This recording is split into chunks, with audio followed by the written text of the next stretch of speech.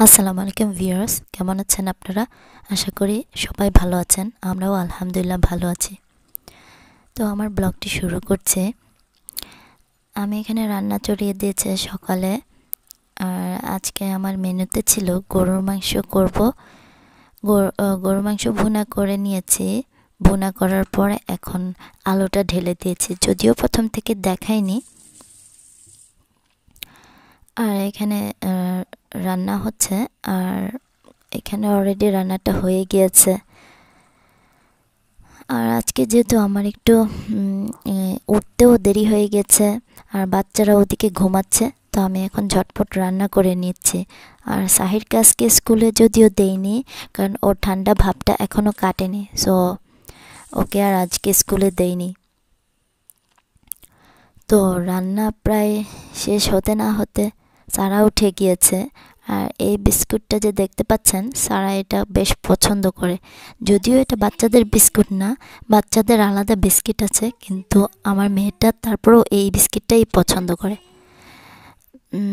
উপরে salt salt আছে সল্টেস biscuit তো আপনারাও ট্রাই করতে পারেন আপনাদের বাচ্চারা যদি পছন্দ করে। আর আমার, সারা নর্মালি বড়দের জিনিসই সব সময় বেশি পছন্দ করে।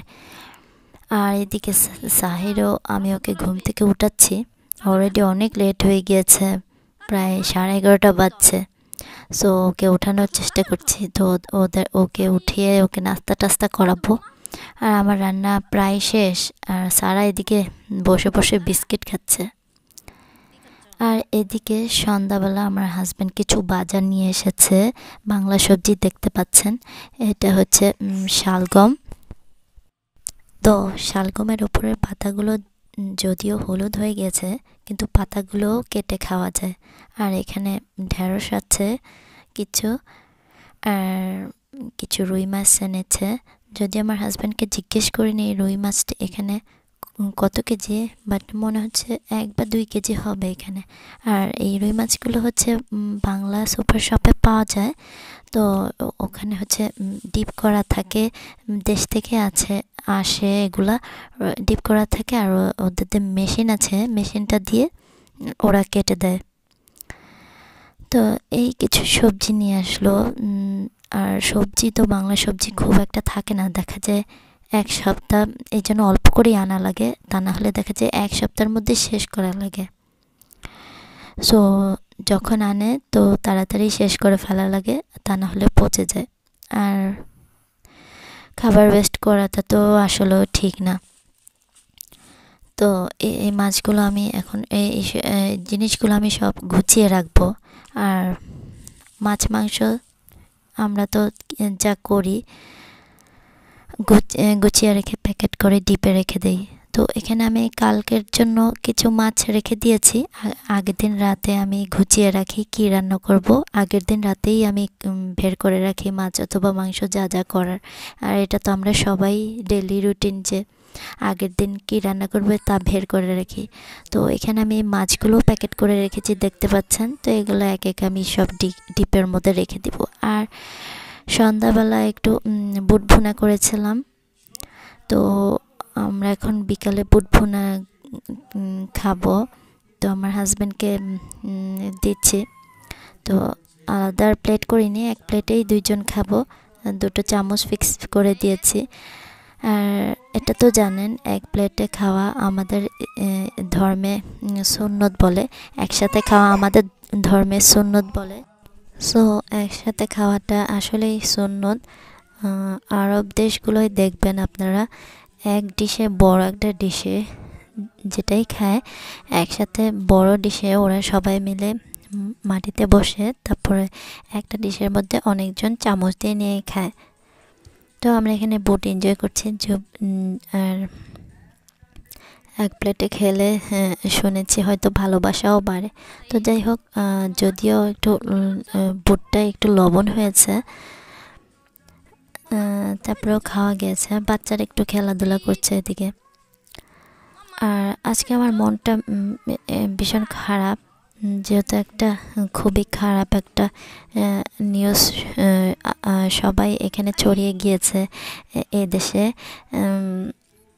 আপনারা শুনলেও হয়তো কষ্ট পাবেন। আর আমার মনটা তো ভীষণই খারাপ। একটা বাচ্চা, তিন বছরের একটা বাচ্চা, আর এ এদেশের জেনেভা শহরে ওখানে একটা বাচ্চা মারা গিয়েছে। তিন বছরের বাচ্চাটা বাবা, তার বাবা হচ্ছে তাদের দোকানে ছিল আর মাটা তার আরেক বাচ্চাকে নিতে স্কুলে গিয়েছে। তো আরেক বাচ্চাকে নিতে স্কুলে গিয়েছিল আর বাচ্চাটা আর ছোট বাচ্চাটা একা ছিল বাসায়। তো মা স্কুল থেকে আর বাচ্চাটাকে বড় বাচ্চাটাকে নিয়ে এসে দেখছে যে জানালার মধ্যে ছোট বাচ্চাটা অলরেডি ঝুলে আছে। তো অনেক চেষ্টা করেছে মা ওর দেখে ফেলেছে চেষ্টা করছে যে বাচ্চাটাকে বাঁচানোর জন্য, কিন্তু কোনোভাবেই বাঁচাতে পারেনি। আর শেষে মা তো ছটফট করছে সাহায্যের জন্য, আর তারপরে আপনার অ্যাম্বুলেন্স চলে এসেছে। তো যেভাবে হোক মাটা এখন মানসিক ভাবে অসুস্থ হয়ে গেছে, এখন হসপিটালে ভর্তি। তো এইসব শুনলে আসলে খুবই মন খারাপ লাগে। এটাই স্বাভাবিক, মন খারাপটাই স্বাভাবিক। আজকে যদি এটা আমার বাচ্চা হতো, তাহলে আমারও কী অবস্থা হতো? তো সবার একই অবস্থা। তো সবাই বাচ্চাটার জন্য দোয়া করি যেন আল্লাহ তাকে জান্নাতবাসী করুক। আর ইতিমধ্যে এই নিউজটা অলরেডি ভাইরাল হয়ে গেছে আমাদের এই ইতালিতে। আপনারা সবাই যারা এখানে আছেন, সবাই হয়তো শুনে ফেলেছেন।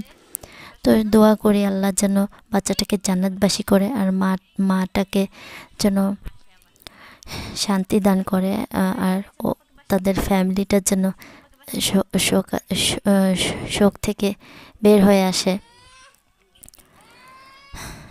তো এই কারণে মনটা আজকে খুবই খারাপ।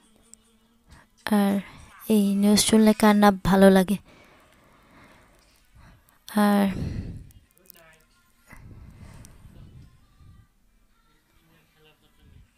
এই নিউজটা শোনার পরে মনটা এত খারাপ লাগছে যে কিছুই করতে মন চাচ্ছিল না। আমি আমার হাজব্যান্ড দুজনেই খুবই আফসোস করছি। তো কি করার আছে?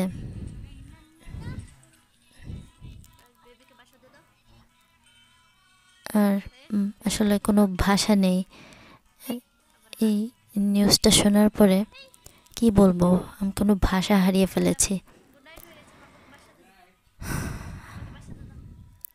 তো ইতালিতে একটা নিয়ম আছে নিয়মটা হলো বাসা বাসায় একা কোনো বাচ্চা রাখা যাবে না, চোদ্দ বছর পর্যন্ত কোনো বাচ্চা রাখা যাবে না।